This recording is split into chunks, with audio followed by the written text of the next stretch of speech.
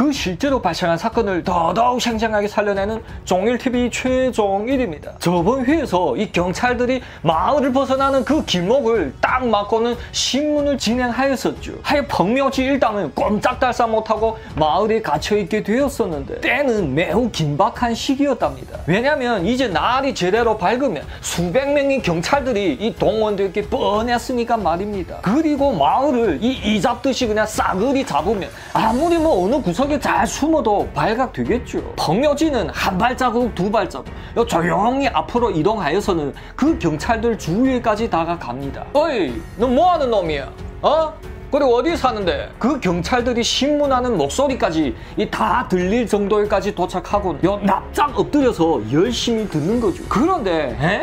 경찰은 그냥 사람들마다 다 이 두 가지만 물어봤었고 그게 조금 더 의심되는 놈이면 이름하고 집 주소를 그냥 적으면 끝이었답니다. 야 니네들 저 경찰이 뭘 물어본지 잘 기억했지? 대답을 잘 생각해놓고 이 떨지만 말고 태연자약하게 지나가라. 유수 쇼핑이 먼저 척 걸어갔었는데요. 경찰은 이 아래 위로 훑어보더니 또 똑같은 질문을 했답니다. 그러자 수 쇼핑은 얼굴색 하나 안 변하고 그냥 술술 대답하자 경찰은 그냥 시끄럽다는 듯이 빨리 통과하라고 합니다. 이 띵위허가 지나갈 차례였는데 이 띵위허 이놈은 이 생긴 게 워낙 범죄자 인상이었던지라 그 이름과 주소까지 이 묶고는 통과시켰답니다. 하지만 이 제일 마지막에 펑묘지가 문제였죠. 띵위허와 수쇼핑을 먼저 보내고는 자신은 또 머리를 싸매고 다른 방법을 생각해 봅니다. 에? 그러면 펑묘지는 왜 똑같이 그냥 그렇게 지나가면 안 됐을까요? 네, 왜냐면 이 어젯밤에 펑묘지는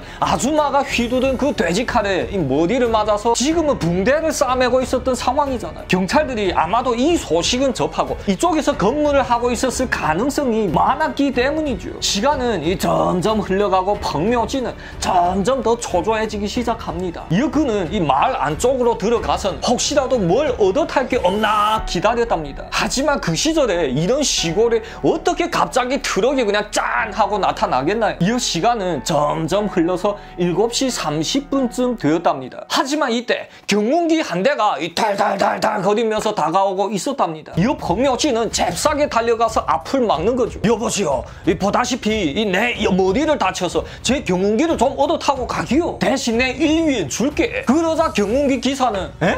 1위엔 준다고? 어허, 냉큼 타시오. 어서 돈을 주시오. 네, 그 경운기 주인은 아주 신이 났답니다. 펑명지가 경운기에 올라타니 그 뒤에는 이 농사꾼 대여섯 명이 함께 타고 있었답니다. 자, 이거는 이게 하늘이나 이 펑명지를 돕고 있다는 게다. 펑명지는 그들 사이에서 이 머리가 아프다고 핑계를 대고는 털썩 누워서 갔다고 합니다. 이 경찰들 신문할 때도 그 경찰이 한번 위로 대충 올라다 봤는데 누워 있었던 펑묘지가 보일 리가 없겠죠. 한이 그냥 뭐 통과시켜버리고 말았답니다. 네, 참으로 답답한 현실이었죠. 왜 그 시절에는 이렇게 책임감도 없고 머리만 나쁜 경찰들만 있었을까요? 만약 조금이라도 요 책임감이 있었더라면 경운기 뒷좌석에 이 사람이 그리 많은데 그냥 한번 올라가 보기만 해도 수많은 사람들을 구할 수 있었을 텐데 말입니다. 그렇게 구사일생으로 살아난 펑묘지는 부하 두 명과 만납니다. 하하하 야들아 봤니? 이게 바로 니네 형님 펑묘지다. 뭐 이렇게 된 이상 그냥 갈 순 없제야. 짭새들한테 이 선물 하나 남기고 가자. 에? 그러면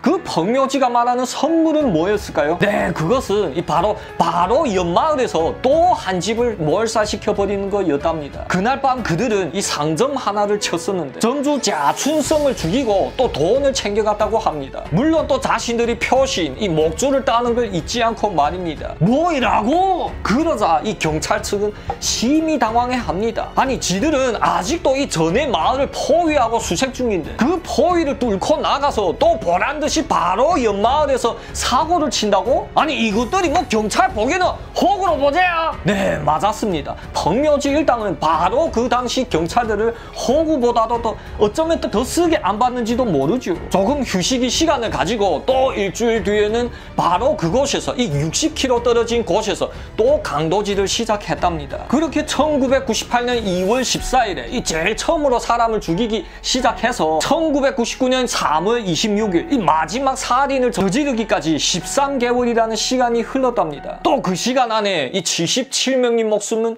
이렇게 그놈들이 소나기 위해서 끝나게 되었답니다. 그 수단과 방법은 그냥 다 똑같습니다. 방법용 철문이 있는 집은 이 벽에 구멍을 뚫고 들어가고 철문이 없는 집안은 그냥 전에처럼 문 열쇠를 박살내고 그냥 쉽게 쉽게 들어갔답니다. 그냥 피해자들 이름만 다를 뿐이지 그 작업이 진행된 건 너무나도 똑같게 잔혹하여 그냥 생략해 버리겠습니다. 그렇게 77명까지 끝내버리고는 그들은 또 잠깐의 휴가를 즐기기로 하였답니다. 그러면 이런 악마 놈들을 멈출 수 있게 한 건 결국 경찰들이겠는데 대체 어떻게 하면 이렇게도 늦게 잡게 되었을까요? 사실 범명지 일당은 그 범죄 현장에 남긴 게 아주 많았다고 합니다. 지문이고 뭐 머리카락이고 심지어 범묘지 그 주력 무기인 이 돼지칼도 현장에 버리고 간 지 몇 개월이 지났는데 어떻게 하면 그렇게도 못 잡아냈을까요? 네 그때 경찰들 수사 수법이 이 낙후했던 원인도 있었지만 저번 회에서도 나왔다시피 바로 이 각 지역의 경찰서는 통일로 된 수사를 진행하지 못했고 다들 각자 자신이 구역에서 일어난 사건만 가지고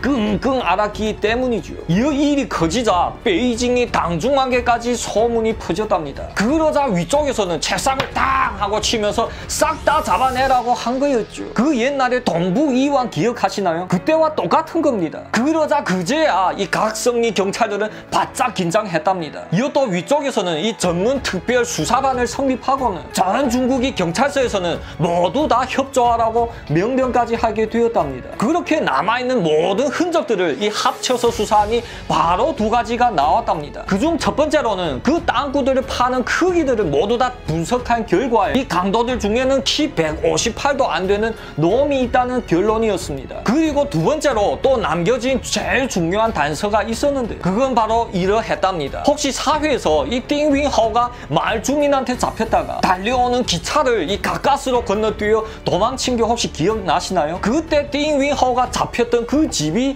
짱젠이 이 세를 맡았던 집이었다고 합니다. 하지만 그번 사건은 이 사람이 죽은 것도 아니었기에 경찰서에서는 별로 신경도 안 쓰고 그냥 잊고 있었답니다. 하지만 이번에는 이 중앙에서 나서니까 자세하게 알아본 거였죠. 짱제는 처음에 몇 차례 함께 강도질 하다가 돈을 웬만큼 벌고는 이 손을 씻었잖아요. 하지만 뭐 아무리 손을 씻는다고 해도 그게 없었던 일로 돌 아갈까요? 1999년 3월 19일 경찰 측은 먼저 짱제를 잡아들입니다. 짱제는 그냥 강도질만 하고 이 사람을 죽인 거는 입도 뻥끗하지 않았답니다. 이후 경찰 측이 그 짱젠 보고 대가리를 불라고 하자 사실 짱젠도 답답해 놨답니다. 왜냐면 그들 서로 서로는 호칭만 썼었고 뭐 서로에 대해 아무것도 몰랐기 때문이죠. 펑묘지 호칭은 시어왕이었으며 짱젠도 뭐 그것만 알고 있었죠. 하지만 경찰들 그 심사 강도는 점점 심해져 갔었고 뭐 온갖 고문이 다 실행하게 되었답니다. 그러자 견디지 못한 이 짱젠은 한 가지 생각나게 됩니다. 한 번은 펑묘지가 술김에 이런 얘기를 하였답니다. 이저우즈현이란 곳에 러관타이라는 관광지가 있는데 자신은 집에서 말을 타고 한 시간이면 도착한다고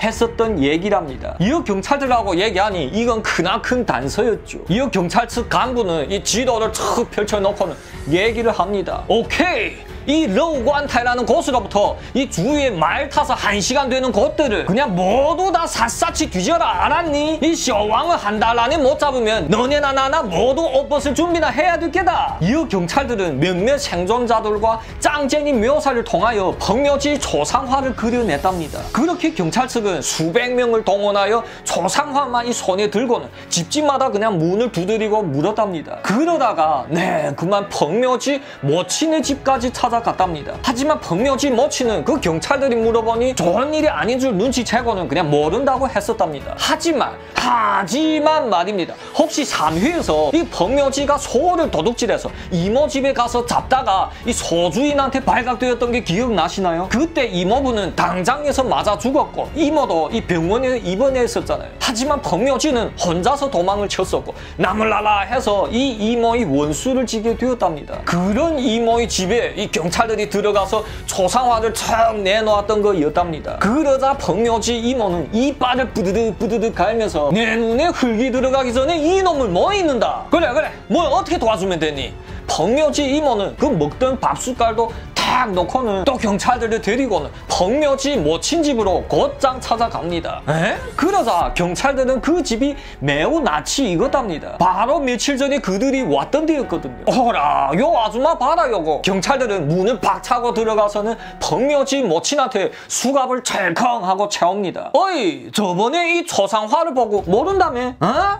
감히 어디 우리한테 구락가니? 니 콩밥 좀 먹어봐야 되겠다. 야, 가자! 네, 그러자 그제야 그 펑묘지 모치는 사실대로 다 얘기를 합니다. 그리고는 친히 이 경찰들을 데리고 그 새로 지은 펑묘지 2층 별장으로 데려가는 거죠. 이어 그곳에 도착한 경찰들은 이 무작정 쳐들어가지는 않았고 펑묘지가 무척이나 좋아하는 병법을 써줬답니다. 경찰은 그 시골의 이장을 불러서는 자신들이 짜놓은 계략대로 하게 하였답니다. 그러자 이장은 오케이 하고는 그 펑묘지 집문을 똑똑 두드립니다. 마침 그때 집에서 이 휴가를 즐기던 펑묘지가 문을 빼꼼히 열어보더랍니다. 그 다름이 아니고 제 저번에 부탁했었던 쟤네 딸 호구를 여기 허북성에 올리는 거 허가가 떨어졌어. 시간이 되면 이 언제든지 내 사무실에 와서 자세한 걸 작성하오. 어? 그러자 펑묘지는 완전 기뻐합니다. 그 시절이 그 중국의 허구 문제는 여간만 머리 아픈 일이 아니었기 때문이죠. 펑묘지는 문을 발캉 하고 열어 제끼고는 지금 그냥 함께 가자고 성큼성큼 나왔답니다. 하지만 이때 주변에서 이 매복 중이었던 경찰들이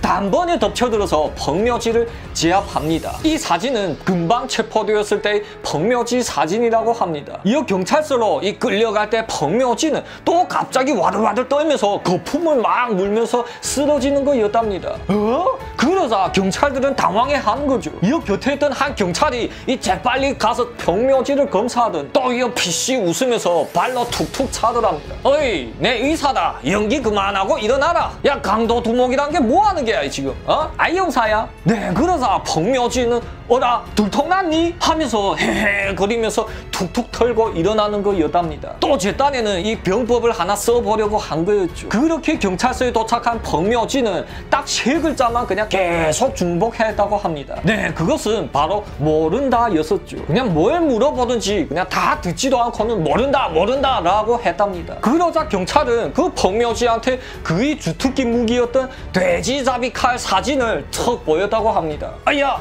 그러자 이 펑묘지는 잠깐 움찔했었는데 또 이내 뭐 조용하더랍니다. 이어 경찰은 또 한 장의 사진을 꺼냈었는데 그건 바로 짱지행이 잡혔던 사진이었답니다. 아? 이어서 그걸 본 펑묘지는 한숨을 그냥 푹 하고 내쉬더니 경찰들 보고 담배 한 대를 달라고 했답니다. 그리고는 이 불을 붙인 뒤에 한 모금 깊게 깊게 들이빨고는 모두 다 불기 시작했답니다. 나중에 펑묘지가 기자들과 얘기하기를 그 돼지잡이 칼까지는 뭐 어떻게 해서 든지 자기 게 아니라고 요 우길 수는 있었는데 짱지행이 잡혀 있었던 사진을 보니까 그냥 힘이 쫙 풀렸답니다. 모든 사건은 내가 한 게 맞다. 근데 내 니네 대가리하고 얘기를 나눠야 되겠다. 니네도 대가리가 있을 게 아냐. 데리고 오라. 라고 펑묘지는 요청하였답니다. 이어 산시성 공안국 부국장이 이 척 친히 찾아와서는 펑묘지와 얘기를 나눕니다. 내는 요구 조건이 딱 세 개다. 그중 첫 번째로는 이 가기 전에 내 와이프와 딸을 보고 싶고 둘째 이 내 딸 호 구를 허북성으로 옮겨달라. 아니 내가 죽일 놈이지 내 딸은 아무 죄도 없다. 그리고 세 번째로는 이 현금 천위엔을 달라. 네 만약 이 세 가지를 다 해결해 주면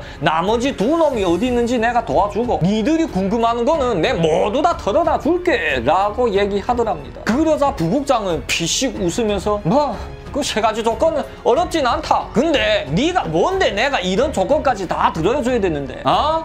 아니 니 뭐 몇 명이나 죽였는데 라고 그냥 비웃었답니다. 그러자 펑묘지는 책상을 탕 하고 치면서 남요 장즈창北有我小王이라고 외쳤답니다. 그 뜻인즉 남쪽에 장즈창이란 특대 강도가 있다면 북쪽에는 특대 살인마 내小왕이 있다라는 뜻입니다. 여기서 장즈창은 홍콩에서 제일 유명한 강도인데 동아시아 제일 갑부인 리자청이 장남을 이 납치한 놈이거든요. 그리고는 그에게 금액을 강도질한 홍콩 3대 강도 중 하나입니다. 펑묘지는 자신을 짱즈창과 나란히 비유하면서 그 공항국 국장 보고 니네 땡 잡았으니까 잘 모시라 이거였습니다. 이 사진은 바로 펑묘지를 신문하는 사진인데요. 야 내 사람 너무 많이 죽여서 이 말로 하면 니네 아마 믿기 힘들 게다. 지도 있으면 한번 갖고 오라. 내 하나하나 짚어주면 니네 한번 한번 확인해 보면 될게 아야. 내 펑명씨는 이 기억력도 좋아서 한 곳을 척 잡고는 여기 가족이 몇 명이 있었는데 어떻게 어떻게 죽였었고 또 돈은 얼마나 강도질 했는지 그냥 쭉 얘기하더랍니다. 또 그렇게 한 곳 한 곳을 모두 다 설명을 하자니